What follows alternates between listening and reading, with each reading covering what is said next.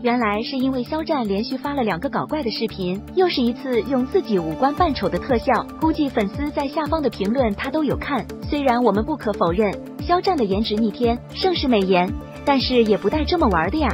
虽然大家也没想到肖战会连续发两个视频，两次更新，而且一次比一次更具有冲击性，所以粉丝就纷纷评论，这次真的又丑出了新高度，甚至还纷纷脑洞大开的 P 了各种各样的表情包。肖战再一次成为了大家的欢乐源泉。其实，在粉丝眼里丑也不是真的丑，只不过说这个特效无法让人接受，觉得太搞怪了而已。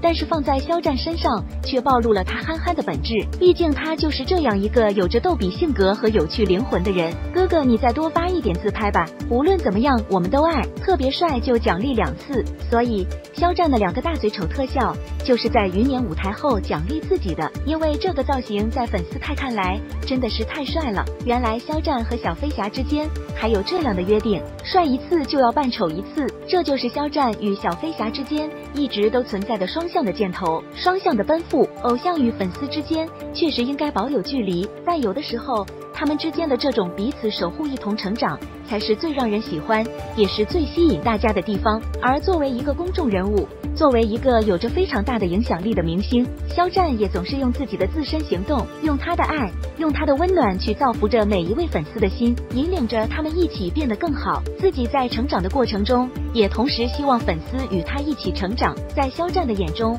粉丝是与他处于同等位置的一群个体。我们喜欢一个人，就要从他身上去汲取正能量的一面，汲取光和爱。肖战成蒙牛品牌代言人，线上排唱族，粉丝有一种手速叫秒空。